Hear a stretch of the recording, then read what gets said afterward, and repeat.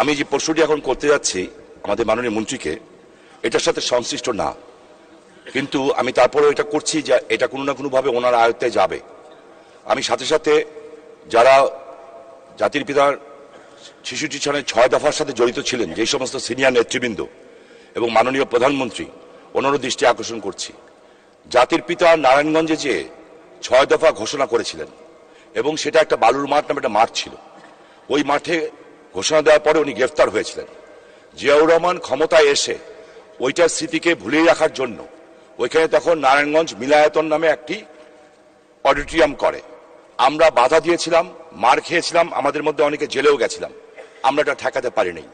তারপরে আবার খালেদা জিয়া এসে সেইটাকে আবার জিয়া হল নাম দিয়ে এত বড় একটা যাকে হাইকোর্ট থেকে, সুপ্রিম কোর্ট থেকে যাকে বলা হয়েছে, তার অবৈধ ক্ষমতা, তার একটা বিশাল ছবি টাঙিয়ে পাথরের মূর্তি দিয়ে ওখানে রাখা হয়েছে। এই জায়গা, এই জায়গাটা হচ্ছে জেলা প্রশাসকের আন্ডারে। আমি মাননীয় মন্ত্রী, আপনার আন্ডারে জেলা পরিষদ পড়ে। নারায়ণগঞ্জের মানুষের দাবি জাতির পিতার পদচিহ্ন ওখানে পড়ে- পড়েছিল এবং ছয় দফা আমাদের স্বাধীনতার সনদ ছিল। আমরা চাই নারায়ণগঞ্জে আপনার তত্ত্বাবধানে জেলা পরিষদের মাধ্যমে ওইখানে একটি ভবন হোক এবং সেই ভবনের নাম ছয় দফা ভবন রাখা হোক। তাহলে নারায়ণগঞ্জের মানুষের সাথে সাথে আমার মনে হয় বাংলাদেশের মানুষও গর্বিত হবে। এই ব্যাপারে আপনাকে কোনো চিঠি আমরা আকারে দিলে আপনি সেটা দ্রুত গতিতে সম্পন্ন করবেন কিনা। ধন্যবাদ মাননীয় স্পিকার। ধন্যবাদ মাননীয় সদস্য মাননীয় মন্ত্রী।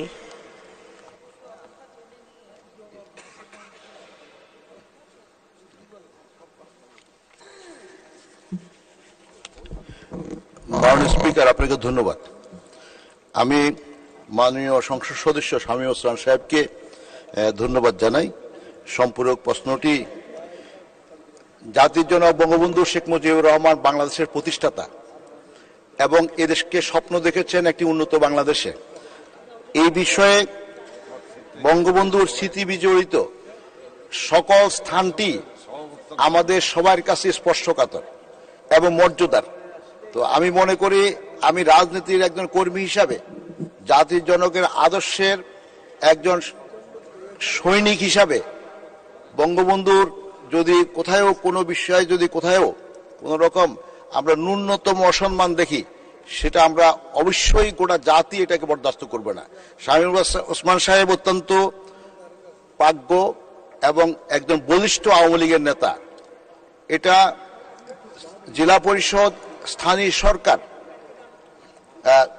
জনপ্রতিনিধিত্বশীল স্থানীয় সরকার একটি প্রতিষ্ঠান।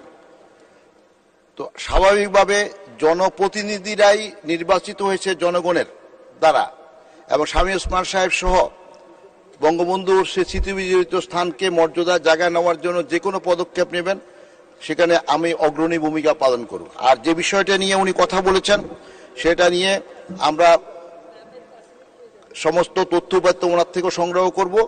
এবং করে সেখানে যা যা করার দরকার সে এলাকাতে বঙ্গবন্ধুর মর্যাদাকে সমুন্নত করা এবং এলাকার মানুষের সার্বিক উন্নয়নের জন্য অবশ্যই সে ব্যাপারে দ্রুত পদক্ষেপ নেওয়া হবে, যে কোনো আবেদনের পরিপ্রেক্ষিতে। ধন্যবাদ মানুষ স্পিকার।